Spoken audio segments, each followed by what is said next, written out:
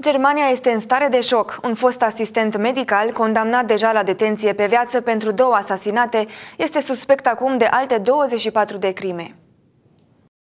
Analize efectuate pe corpurile a 77 de foști pacienți exhumați în zona Bremen, în nordul Germaniei, au relevat prezența în 24 de cadavre a unei substanțe folosite de fostul asistent medical în vârstă de 39 de ani. Substanța, ajmalin, a fost descoperită în corpurile altor doi pacienți omorâți de asistent. Bărbatul a fost condamnat la închisoare pe viață pentru aceste două crime.